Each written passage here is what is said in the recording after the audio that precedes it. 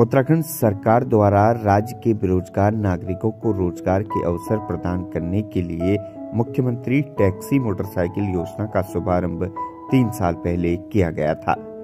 मुख्यमंत्री मोटरसाइकिल योजना का अभी तक नैनीताल ज़िले में कुल एक से ज़्यादा युवकों ने इस योजना का लाभ लिया है। वहीं युवक अब मुख्यमंत्री मोटरसाइकिल योजना का लाभ लेकर खुद का स्वरोजगार कर रहे हैं। जहाँ युवाओं को नौकरी के लिए पलायन करने को मजबूर होना पड़ता था, लेकिन अब मुख्यमंत्री मोटरसाइकिल योजना के तहत युवा अपने अपने क्षेत्र में रहकर ही स्वरोजगार कर रहे हैं।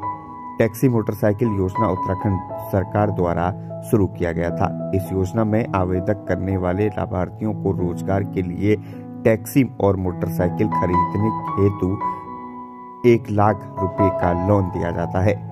सरकार द्वारा मिलने वाला ये लोन लाभार्थी के बैंक खाते में डीपीडी के माध्यम से ट्रांसफ़र कर दिया जाता है और इस लोन पर लगने वाला दो साल का ब्याज भी सरकार द्वारा भरा जाता है। यह नागरिक के लिए एक ब्याज मुक्त लोन है।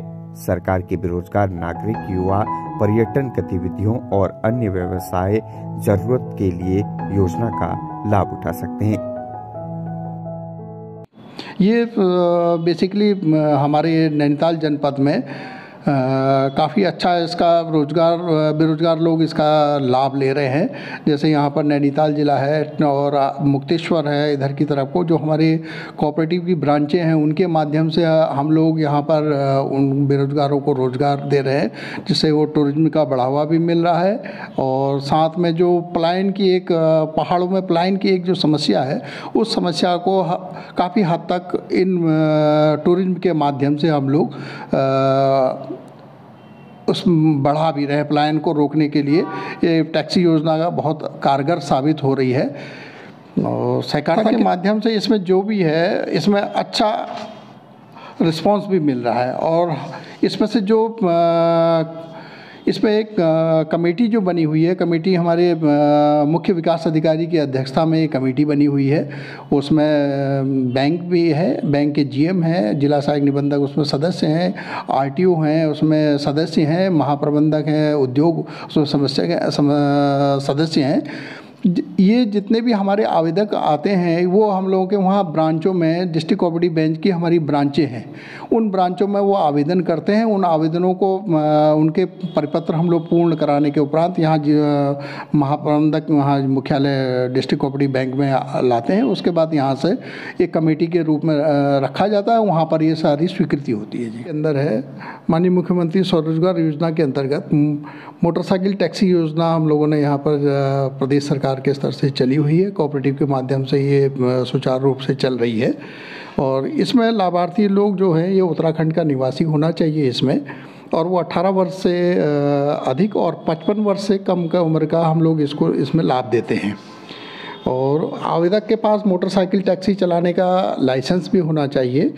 और वित्तीय जो है सरकारी संस्था के बकायदार ना हो। हमारे जो भी कोई भी सोसाइटी का अगर वो बकायदार होगा तो वो उसको वो लाभ से वंचित रहेगा।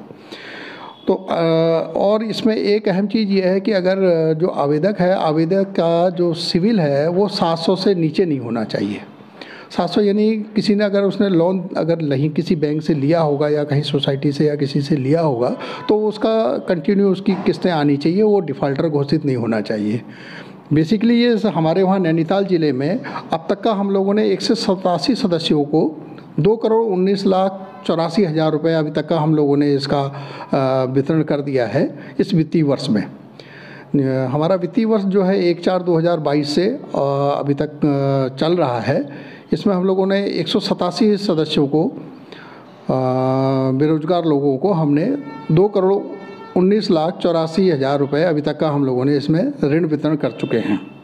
मोटरसाइकिल टैक्सी योजना के अंतर्गत हम लोग इसमें क्या कहते हैं, जो मोटरसाइकिल की क्रय मूल्य है, या तो पिछहत्तर परसेंट है, या एक लाख पच्चीस हज़ार रुपये तक इसकी समय सीमा है। उत्तराखंड के हल्द्वानी से न्यूज़ एटीन लोकल के लिए पवन सिंह कुंवर की रिपोर्ट।